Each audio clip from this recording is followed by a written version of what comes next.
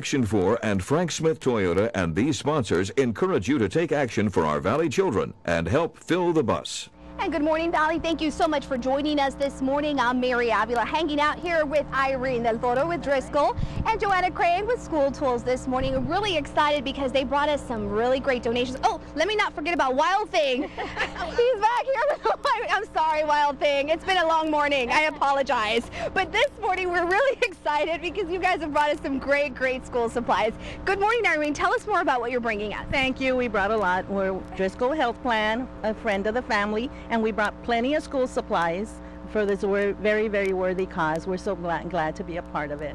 You're such a big part of it because you're even a sponsor in the Fill the Bus campaign. And tell us a little bit about what you brought. I see that you brought some bags, some backpacks. Yes, we brought backpacks full of school supplies. We brought school totes, uh, gym bags, uh, koozies, everything, everything for the kids. And you want to go ahead and give that to Joanna? Yes, yes thank you so much. We appreciate it from all of us at School Tools. Uh, well, we just the, the children, they're our future, and that's what we're here for. We want to fill the bus. So come out and fill the bus.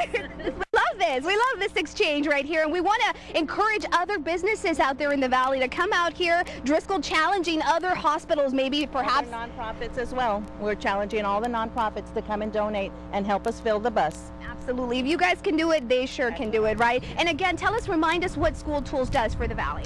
Well, we're open year through the school year for the teachers to come and shop for the underprivileged children and if they're in our program 95% are above economically disadvantaged then they can be a part of our program and come out and shop and get supplies for their children and usually their basket's about $300 worth of school supplies a lot of great school supplies and we need so much help this morning. We really, really do. We are encouraging the entire valley to come out here. We're going to be here till 6.30 this evening and a little incentive to make you come out here. We're going to be giving away some Schlitterbahn tickets, some haircut tickets, a lot of tickets. We want a lot of donations and we need a lot of stuff. So let's talk to Driscoll a little bit more about uh, the, their health plan. Tell me a little bit more about the efforts you guys are doing throughout the community. We're throughout all the Rio Grande Valley and 10 counties. We're here to service the needs we're one of the managed care organizations and we're the nonprofit of the few.